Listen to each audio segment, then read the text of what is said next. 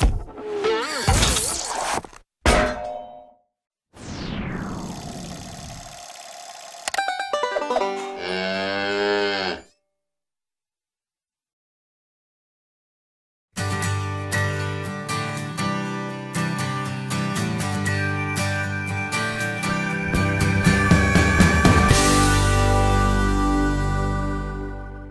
Okay, so we've created our eye. We've got an eyelid that we can actually change by selecting the outer sphere. We've clicked on slice on and we can change the eyelids, the bottom eyelid which happens to be the top slider and the top eyelid which happens to be the bottom slider. The only thing that we haven't actually done is we haven't given material to the eyelid itself. So I'm going to go to my material editor and I'm going to choose a completely different slot. I'm not going to drag it across because obviously we don't have the same specular highlights for skin that we have for the different types of the moist bits in the middle with the cornea, the, the white bit and the iris and the pupil.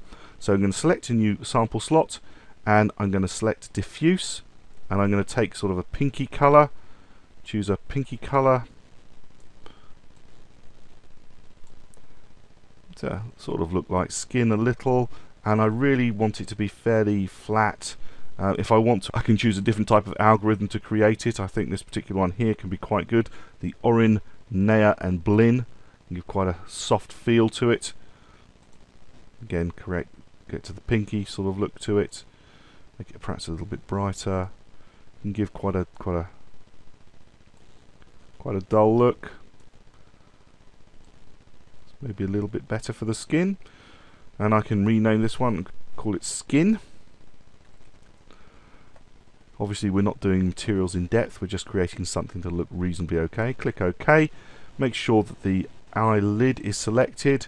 You can see over here it says eyelid and so then I can click this button assign material to selection and it's assigned. shut down my material editor, I don't need that. And if I want to do a quick render to see what it looks like, I can click my little render production and it shows me, there's my eye. Got a bit of an interesting shadow going across it at that point, but uh, okay, let's just move it around then. So Alt and middle mouse key just to move it around. Turn off my grid. This is actually uh, this was one of my front viewport, but just for this particular example, there we go. You can see the shadows coming down a bit lower. So what I'm going to do is going to hit F for front to take this particular viewport back to the front view. Alt W shows me all my four views. So I've got a front viewport, top viewport, left viewport, and my perspective viewport over here and at the moment I'm going to carry on working the front viewport. So I'm going to select that. I'm going to hit Alt W to make it maximum screen size. I'm going to shut down actually my graphite modeling tool. I don't need to see that. Zoom in just a tiny bit and move it across. Because the next thing we want to do is start to create the controllers that will control the eye. Now one of the things I like to do is have my mesh, the things that are going to render and be seen on one layer and have my controllers, the stuff that I don't want to render, but I still want to be able to see them, but I don't want them to render in my final output, I like to have those on a separate layer.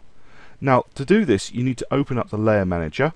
You can either go to Tools, Manage Layers, or there's a Layer Manager icon up here on the toolbar. It looks like this. Click on that, and it opens up the Layer Manager. And at the moment, it says we have got one layer, which is the default layer and wherever this tick is applied it says if I create anything new it will be added to this layer. And the little teapot over here is showing that it is a layer that will render.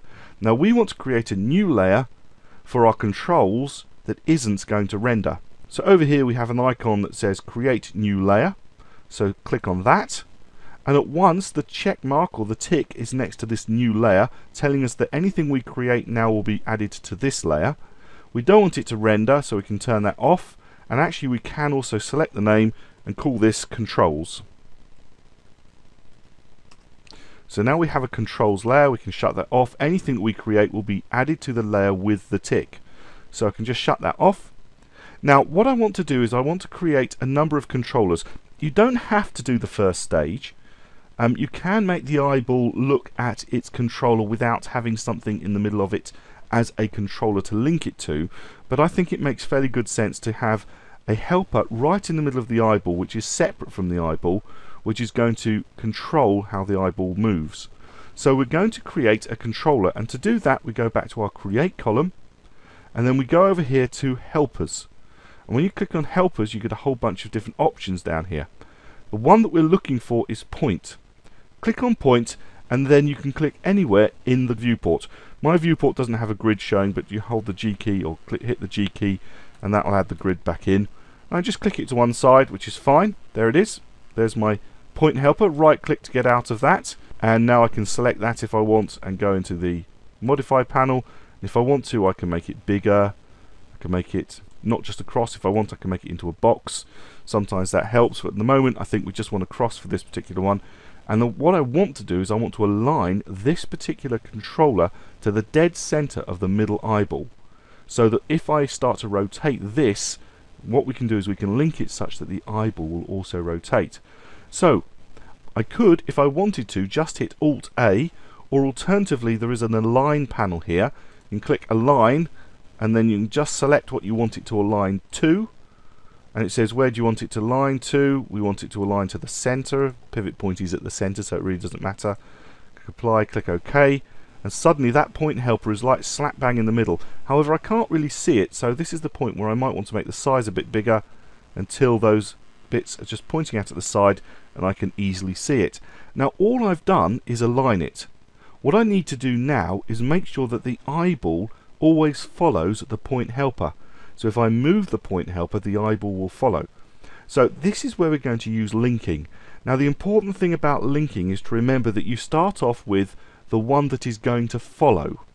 So I want the eyeball to follow the point controller. So if you like, it's like another word for it is parenting, and you're saying to the child, in this case the eyeball, who's your daddy? Who's your parent? Who are you going to follow? Who's going to take you by the hand and move you around? So the link command is over here, select and link, where this little chain is. You click on select and link, and then you click on the eyeball, and then you hold your mouse down and you drag over to the point controller and you get this little icon showing that it's going to link, let go, and it flashes. You might have found that hard to see, but the actual point controller flashed white. And now the two are linked. So if I select the point controller, so it's selected, it's white, and I choose rotate, which is up here, select and rotate, and I start to rotate it around, the eyeball moves with it. And you'll notice that the point controller stays absolutely bang central in the middle of the eyeball.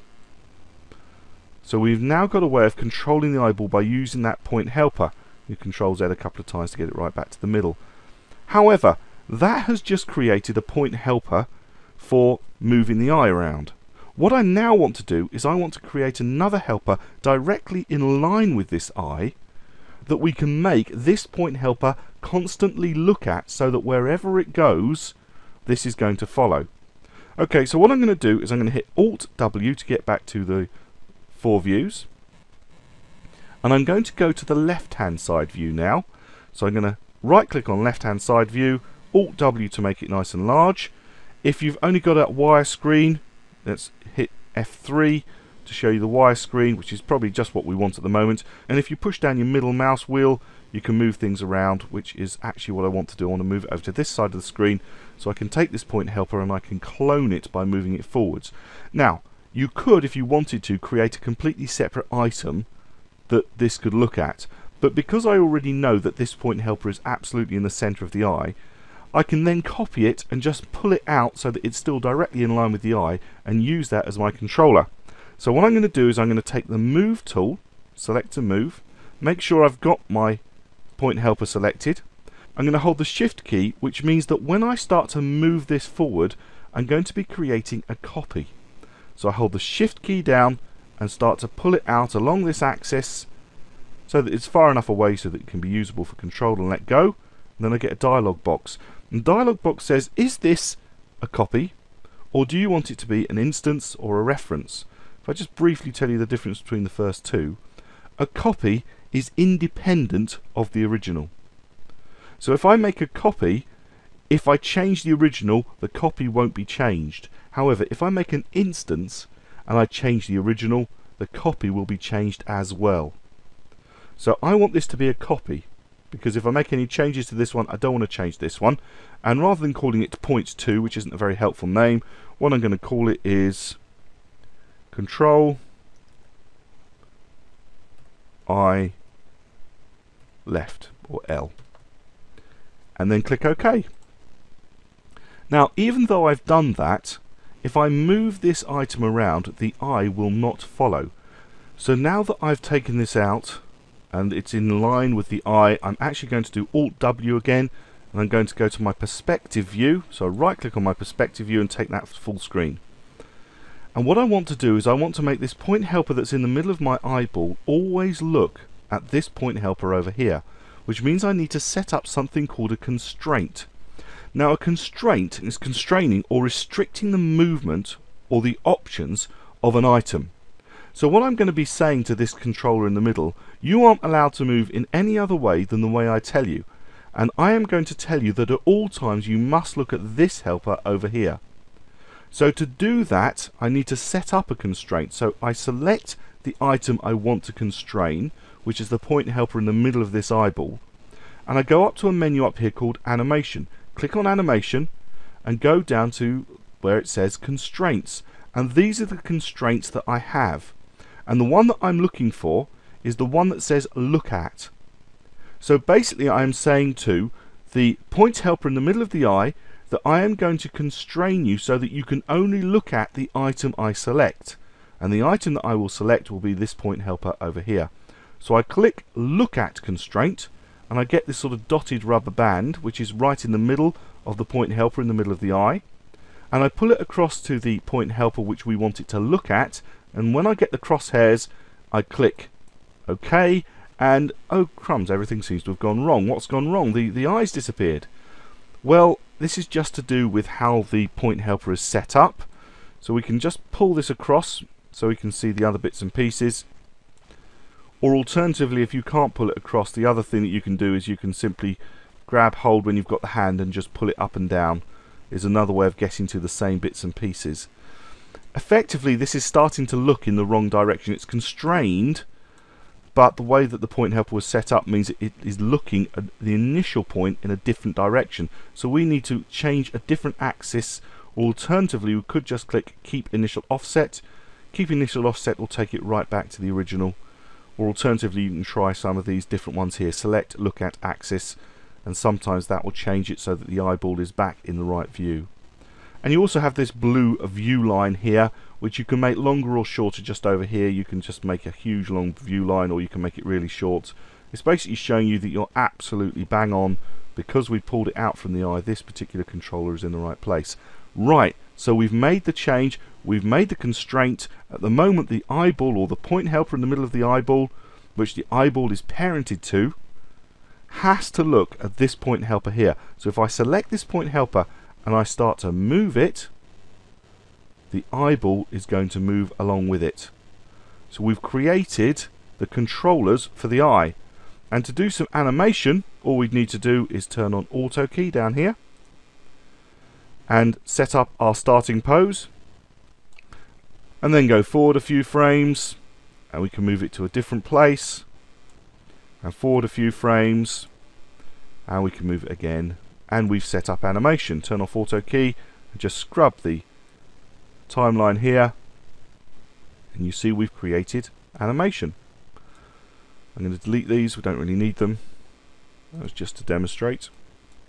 Okay, so now we have created the eye and the controller.